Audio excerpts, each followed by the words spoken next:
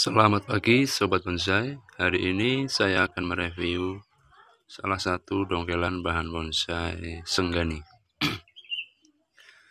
Jadi Ini merupakan Dongkelan senggani Adalah Salah satu dongkelan pertama saya ketika Memulai belajar bonsai. Ini sekitar bulan November 2020 jadi hampir 9 bulan kawan. Dan pertumbuhannya cuma segini-gini aja ya. Ternyata senggani itu untuk pertumbuhannya itu sangat lambat sekali atau mungkin karena medianya yang salah ya. Saya hanya memakai tanah biasa tidak ada pasir ataupun pupuk. Jadi di sini saya hanya menggunakan tanah biasa mungkin medianya yang kurang subur sehingga pertumbuhannya sangat lambat sekali. Meskipun tidak mati dia tumbuh tunas tetapi lama sekali.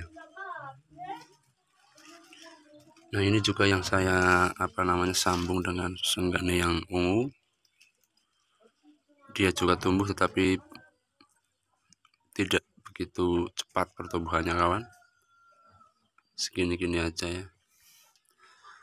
Mungkin buat teman-teman yang sudah pernah mencoba untuk membuat proses ini bisa berbagi informasi apakah saya salah dalam menggunakan media atau